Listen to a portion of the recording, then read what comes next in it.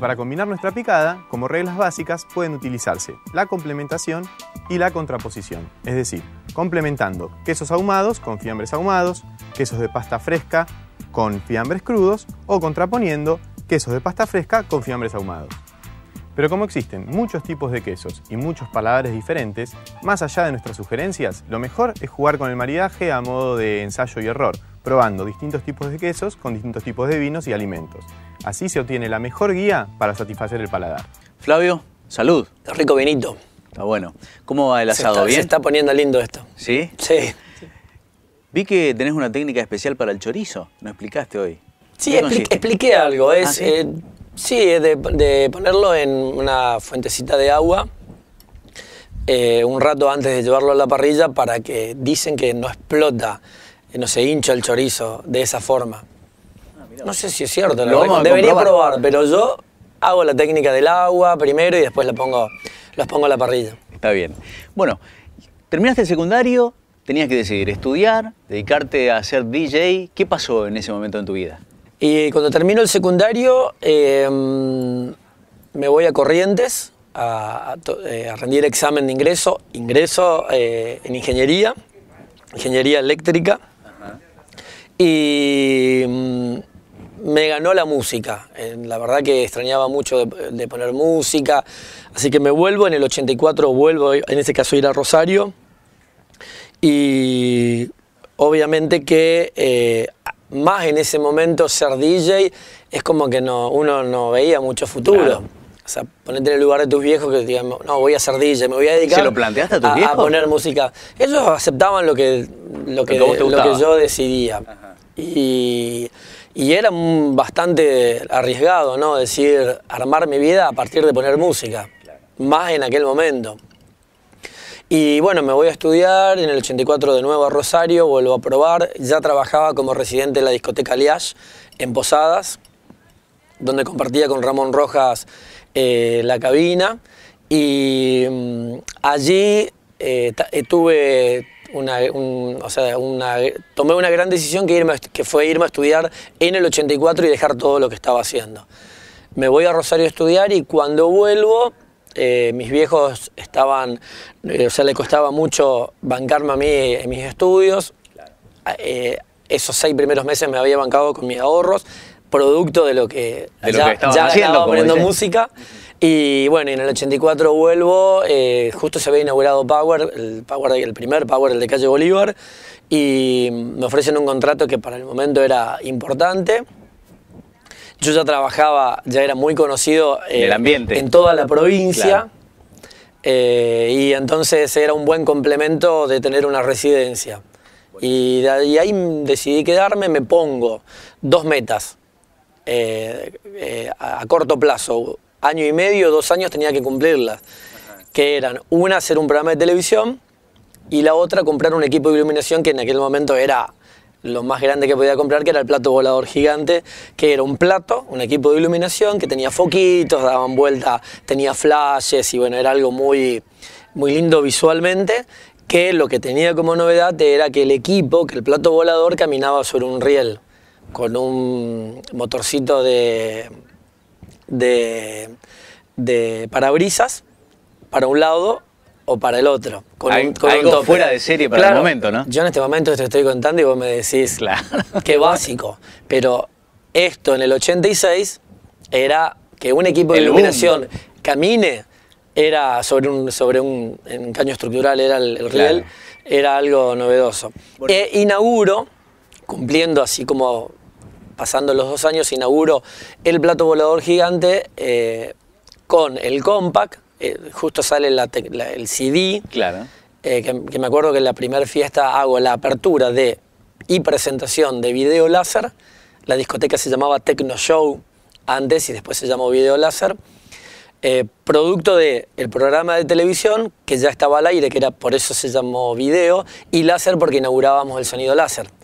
De allí viene el nombre de, de la discoteca Video Láser. Esa noche inauguró el plato, el sonido láser y viene Karina Rabollini como madrina de la discoteca. Ah, completito. Cuando ella era modelo eh, todavía. en Completito, completito Una todo. fiestona de aquella. Y ahí alcanzaste nace- tus metas. Alcancé mis metas a los Entonces, dos años. más consolidado para y seguir ahí- ese camino. Y ahí eh, ya no tuve más dudas. O sea, ahí dije, bueno, para adelante. ¿Y en televisión estabas en la pantalla de Canal 12? En, te- en televisión fue Canal 12 siempre. Sí, sí. Después tuve programas en cablevisión, eh, en su momento, que eran del cable, pero la mayoría de los distintos ciclos de programa que hice los hice en el, en el 12. Me imagino que la televisión te permitió un montón de cosas, hacerte conocido en la provincia, abrirte un Y- poco con- en el campo de las contrataciones. Y Canal 12 eh, es un referente de la provincia, imagínate en el 86. O sea, salir en Canal 12 eras los Beatles. Era, Claro. chao. ¿Y cómo completabas? ¿Tenías una hora de programa, 30 minutos? ¿Cómo El programa en principio era en vivo, yo cero experiencia de televisión, me costaba horrores hacerlo y era para mí una vergüenza lo que hacía, pero andaba y el hecho de salir en la pantalla ya era mucho y presentaba música, lo que hacía era presentar música. Videoclips. videoclips y después con el tiempo eh, hacíamos nota y demás de eh, íbamos a las fiestas y hacíamos notas entonces la gente se veía Claro. Eh, era algo que venía muy de Paraguay también no de Disc Jockey Show de Bruno Masi entonces teníamos una fuerte influencia de ese movimiento que de alguna forma lo hicimos eh, a lo misionero no a lo, a lo que pasaba acá y la gente se veía y bueno Por supuesto. ¿Cómo se define a un DJ?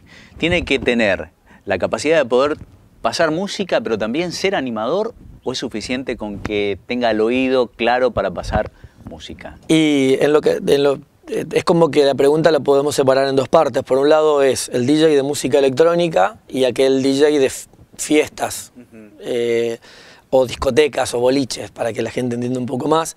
Eh, el de fiesta sí tiene que estar acompañado de animación, es, lo que se estila acá, no así en otros lugares del país. En Buenos Aires no existe la animación en una fiesta, es- no, no existe, el, el DJ no habla.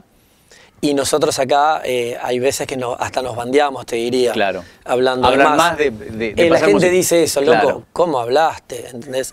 O cuando vienen y te contratan, te contratan porque a lo mejor vos hablas Claro. un poco menos. Y mm, me identifico dentro de, de- trato de ocupar eh, la, la animación como un instrumento más del producto final, o sea, de la música, bailar y que la animación sea justa, nada exagerado, nada gritando. Eh, aunque a veces uno tiene que hablar fuerte, ¿no? Para, por, el, por el micrófono para que escuchen todos. Ajá. Eh, eh, pero. Y del otro lado, el DJ electrónico es exactamente todo lo contrario. Es- Está el arte puro de la mezcla de un, de un tema y de la selección de lo que vas haciendo. Entonces ahí no existe el micrófono. Bueno, en algún momento se ha planteado incluso a nivel nacional por la famosa entrevista de Papo y DJ Deró, donde hubo una suerte de discusión si el DJ pasa música, hace Si el DJ música. toca. Exacto. El tocar. Por supuesto. Y Papo en su momento dijo, no, vos no, no tocás. Claro, música". esa, esa, esa- ¿Vos qué opinión tenés? eh, que el DJ toca, sin duda, y más, y más hoy.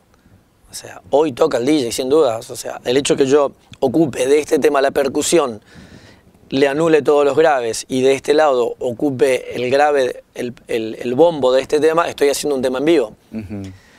Qué Eh, discusión que se va a armar acá, me parece. Claro, no, no, pero explicado de una forma eh, más eh, lógica es lo que en aquel momento eh, se planteó, es como que Deró hablaba en un tiempo y, y- y Papo en otro.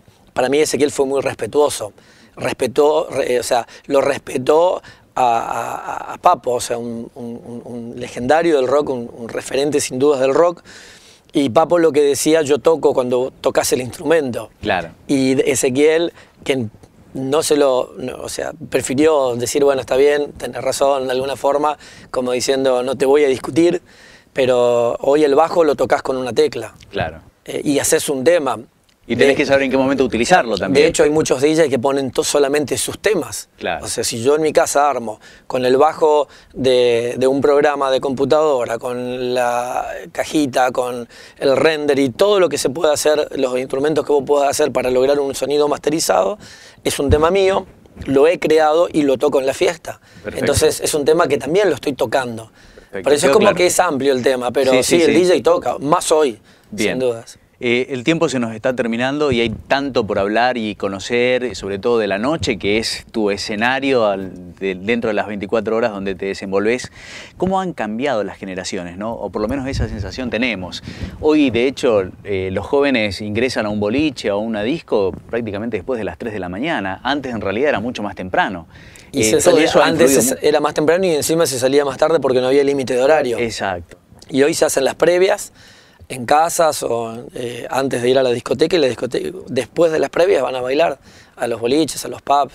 Y sí, ha cambiado mucho porque, porque era un poco lo que hablábamos hoy, ¿no? De que eh, yo voy a... Eh, las fiestas se hacían en casas, los chicos de cuarto y quinto año hacían su fiesta para recaudar fondos en casa, de familia. Y hoy no, después fue el club y después es lo que hay hoy, que es la discoteca y el boliche. Flavio, pisaste los 40. Sí. ¿Hay para rato todavía? Y mientras, mientras tenga la pasión eh, y esa cosquillita de ir a poner música, voy a seguir poniendo música. De hecho, paralelamente he armado una empresa eh, de sonido e iluminación que por ahí no, no, no, trabaja tanto de noche, sino que por ahí hacemos muchos sonidos y servicios de día.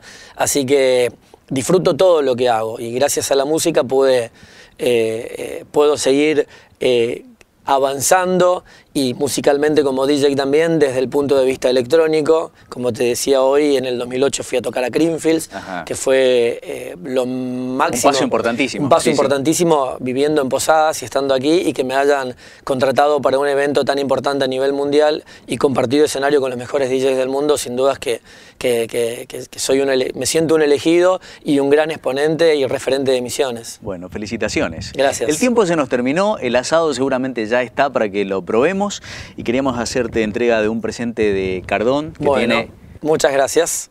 Vestimentas de muy buena calidad para que puedas elegir lo que te gusta. Bueno. Y bueno, te queremos proponer un brindis también. Muchísimas gracias por recibirnos, por compartir parte de tu vida con nosotros y esperamos que de verdad te vaya muy bien en todo lo que estás haciendo y que tengamos a Flavio Abogado dentro de una disco, en una fiesta por mucho tiempo más. Bueno, gracias a ustedes, a todo el equipo del asadito y a disfrutar por supuesto. Salud. Desde la ciudad de Posadas, Pueblo Chico, estuvimos con el DJ Flavio Bogado. Nos encontramos en el próximo programa. Hasta entonces.